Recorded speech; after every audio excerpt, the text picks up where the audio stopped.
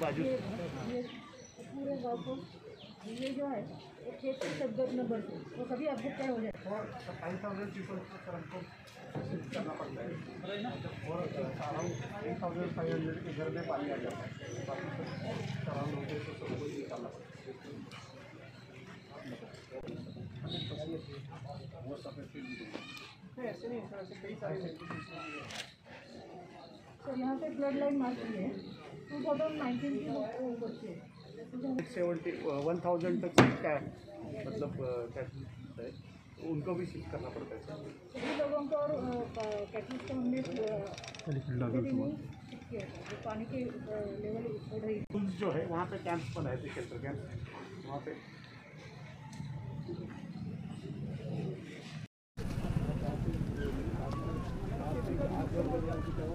अभी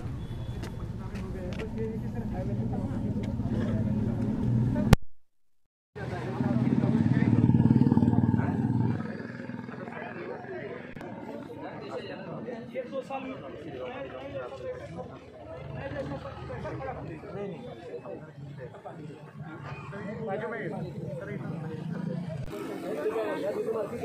आए आप बढ़िया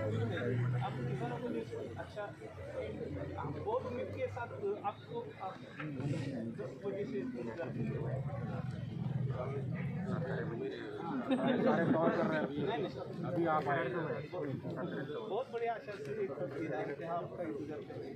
कुछ आप खेती के लिए और किसानों के लिए हमारी सब किसानी कोई और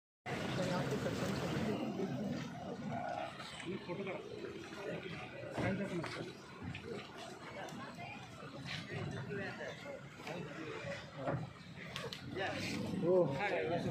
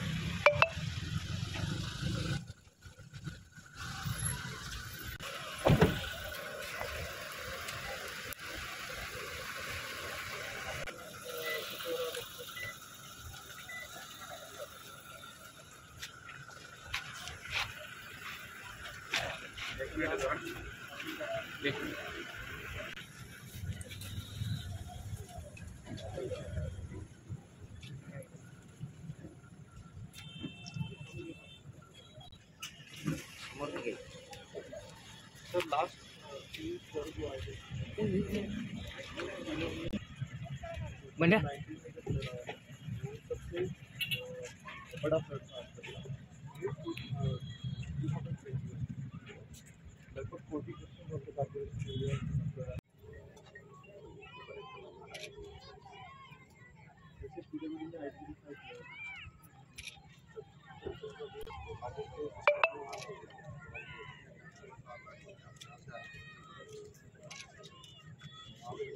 पीडब्ल्यूडी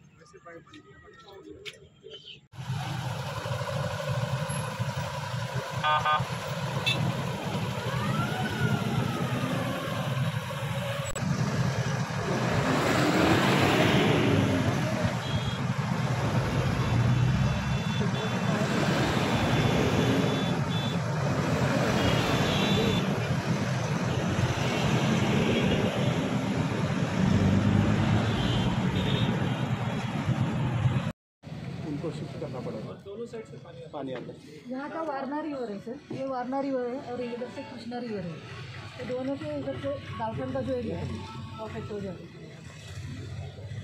ये टू थाउज़ेंड नाइनटीन की लाइन है और ये टू थाउज़ेंड ट्वेंटी है ये बीच का एरिया है वो वही इफ़ेक्ट रह जाता है दोनों तरफ़ से पानी आ जाता है एग्रीकल्चर एरिया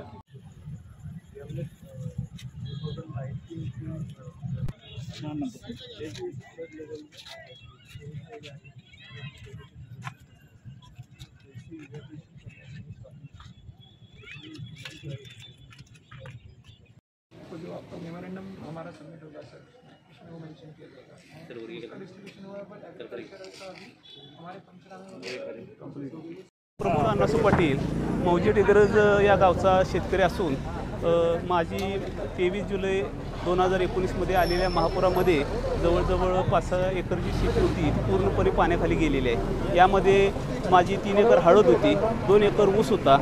यामध्ये मी हळद पिकासाठी जवळजवळ बि हळद बियाण्यासाठी दोन लाख रुपयाचं बियाणं घेतलं होतं आणि ते उत्पादन करण्यासाठी जवळजवळ मी दोन लाख खर्च केली होती.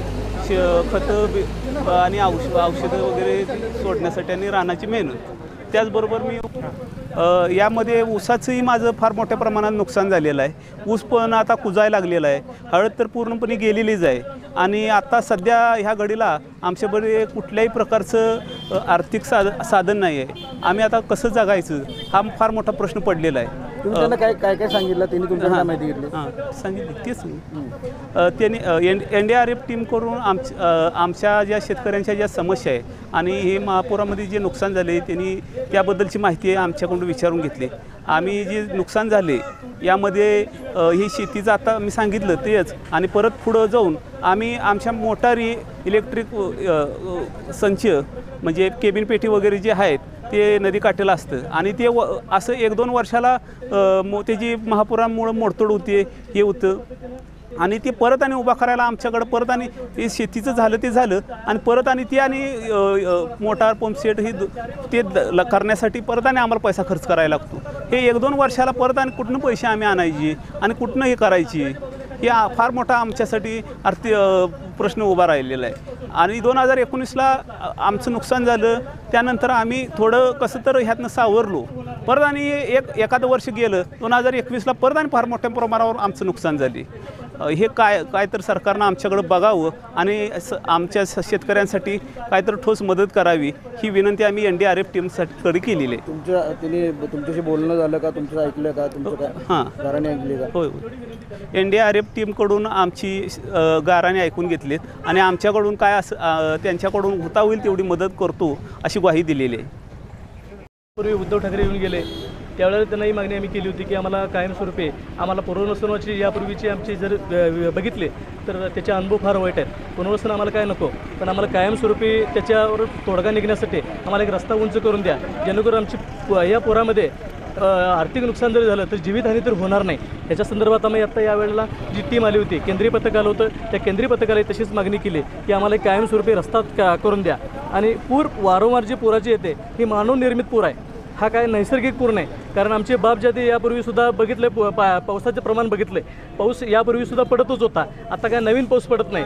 पण पाणी विस्तारण जी प्रक्रिया आहे ती पाणी विस्ताराची प्रक्रिया कमी झाल्यामुळं हा पूर यायला लागला आहे आणि म्हणजे काय असं वेगळं काय घडत नाही. मात्र जे नवीन पुलं झालेले आहेत त्या नवीन पुलाच्या ज्या बाजूला जे बांध आहेत ते बांध काढून त्याच्यावर नवीन मच्छी तयार करणे हा त्याला एक मोठा पर्याय आहे. आम्ही तशीच मागणी यापूर्वीसुद्धा ठा उद्धव ठाकरेंच्या वेळी केली होती. आणि आत्तासुद्धा तशीच मागणी केली की आम्हाला तो एक पक्का रस्ता आम्हाला मिळावा. त्यांच्याकडून काय काय प्रश्न विचारले किंवा काय काय त्यांनी ते या- आले कमिटी आली ही कमिटीनं माझ्या अंदाजानं एक- एक फॉर्मॅलिटी पूर्ण केली. आता बघितलं त्यांनी फक्त नुसतं काय केलं त्या अधिकाऱ्यांनी नुसतं त्याची मागणी. आम्हाला जर ज- लोकांना जर जनतेला शेतकऱ्यांना किंवा असं सांगितलं असतं की तुम्ही कोणतरी बोला तर ते आम्हाला तसं व्यवस्थित त्यांना सांगता आलं असतं. पण तसं काय झालेलं नाही. प्रशासनानं मात्र ते अ, फक्त पूर कसा आला आणि कुठला कुठला भाग डॅमेज झाला एवढी त्याची माहिती दिली. प्रशासनानं मात्र त्यांना ते कुठल्या घराची पडझड कशी झाली काय झाली ह्याची पुरी माहिती दिली त्यांना. योग्य माहिती दिलेली आहे. पण मात्र आम्ही जर थोडंसं आमच्या आमच्या ज्या व्यथा आम्हाला जर मांडता आल्या असत्या तरी त्यातनं थोडंसं जास्त बरं झालं असतं.